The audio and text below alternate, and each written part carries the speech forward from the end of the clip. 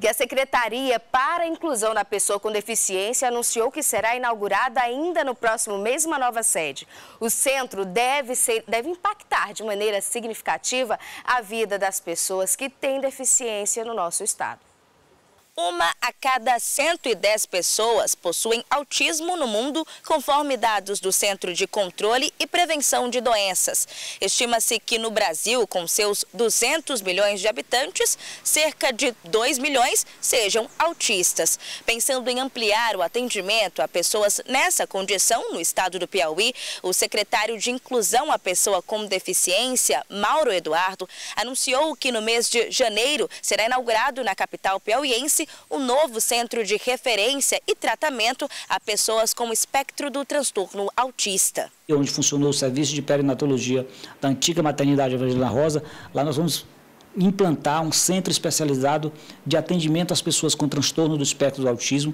Aumentou muito o número de pessoas com TEA, não só no Piauí, mas no Brasil como um todo. Então, nós precisamos ter uns centros que possam dar um atendimento de qualidade a essas famílias. Então, ainda em janeiro, nós iremos junto com o governador Rafael Fonteles, assinar a ordem de serviço para que a gente possa já iniciar a construção lá desse importante centro que vai também melhorar a qualidade de vida das famílias e das pessoas que têm transtorno do espectro do autismo em nosso estado.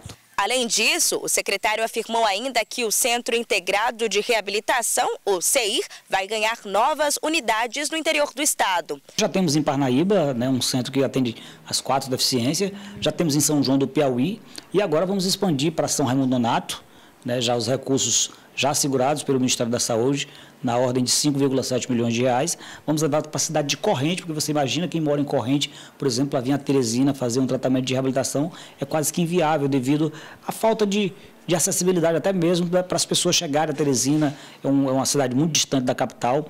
Vamos levar para a cidade de Picos, o governador Rafael já autorizou também a gente fazer um centro de reabilitação para atender também as quatro deficiências em Picos. Então a meta nossa, a meta do governador Rafael é de que, né, que a gente possa estar mais próximo da população, para que assim nós possamos dar mais conforto e mais qualidade no atendimento a essas pessoas, porque muitas vezes essas pessoas têm dificuldade de se deslocar para Teresina ou para qualquer outro grande centro para fazer esse tratamento de reabilitação. E esse centro mais próximo dessas, dessas pessoas, da comunidade, vai dar mais conforto, mais qualidade de vida, e é isso que nós queremos trabalhar para melhorar a qualidade de vida das pessoas com deficiência no estado do Piauí.